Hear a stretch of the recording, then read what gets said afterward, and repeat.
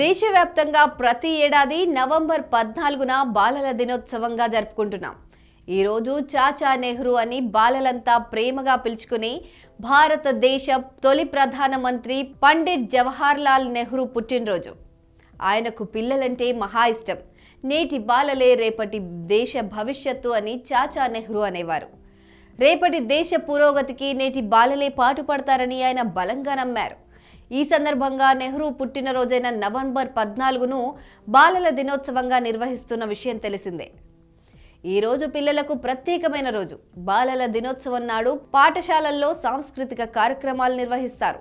పిల్లలు వివిధ వేషధారుల దుస్తులు ధరించి ప్రత్యేక ప్రదర్శనలు ఇస్తూ ఆకట్టుకుంటారు. జవహర్లాల్ నెహ్రూ బోధనలు వారసత్వాన్ని గుర్తు చేసుకుంటారు. ఆయనకు ఘనంగా నివాళులు అర్పిస్తారు. ప్రపంచంలో చాలా దేశాలు నవంబర్ ఇరవైవ తేదీన బాలల దినోత్సవం జరుపుకుంటారు. ఒక్క భారతదేశంలో మాత్రమే ఆరు రోజుల ముందుగా నవంబర్ పద్నాలుగవ తేదీన చిల్డ్రన్స్ డే నిర్వహించుకుంటారు.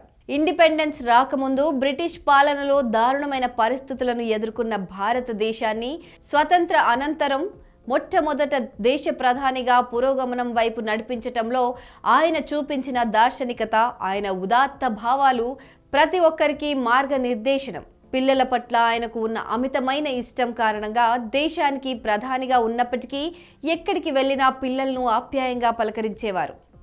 వారిని దగ్గరకు తీసుకునేవారు. దీంతో పిల్లలంతా ఆయనను చాచా నెహ్రూ అని పిలిచేవారు.